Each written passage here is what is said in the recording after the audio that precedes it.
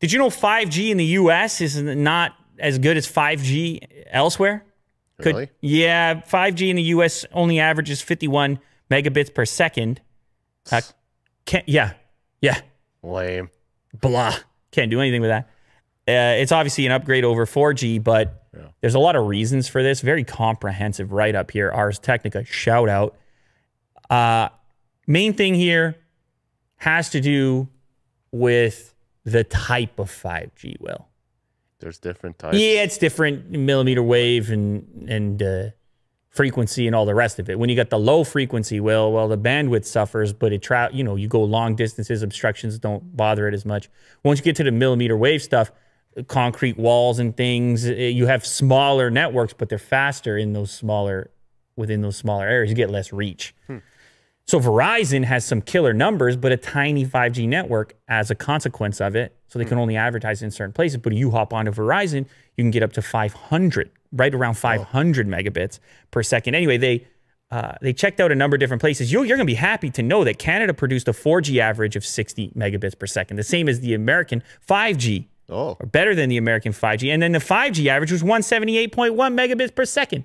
That's great. So not too bad. In fact, close to Taiwan and Australia at 200 megabits per second. And then, as you know, as it would be, South Korea and Saudi Arabia clocking in at 312 and 414 respectively. So you want to take a trip right now. I know it's limited. You will have to wear a mask, but you want to go experience some 5G, Willie do? You are welcome to. Right on. So you have a graph here. You have the U uh, USA, the Netherlands, Germany, whatever. Canada kind of surprised me on this front. It, I don't I don't know if we've been competitive in the past, but it kind of surprised me on his front.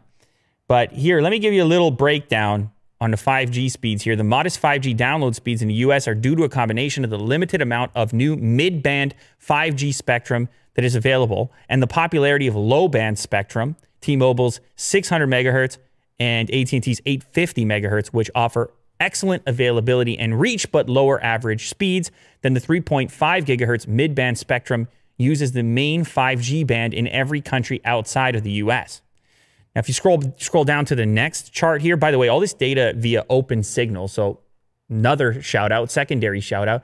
Look at for Verizon's number, almost hmm. 500 megabits per second comparative to T-Mobile, AT&T, and Sprint, which are all close between hmm. 50 and 60. However, nowhere near the availability because of the technology in play. As mentioned, uh, the Verizon's 5G network is tiny by comparison, and it relies on millimeter wave frequencies that are easily blocked by walls and don't mm. travel too far. So you see how this its benefits, its drawbacks really do. But either way, uh, there you go. 5G is not 5G everywhere. There is a huge variety of 5G. So maybe it's best to see what you're actually going to get on your carrier and in your region to see if it's just some some marketing thing or if it's actually to you're going to see a significant improvement in your bandwidth or not based on your carrier and your location. You could check that out for yourself.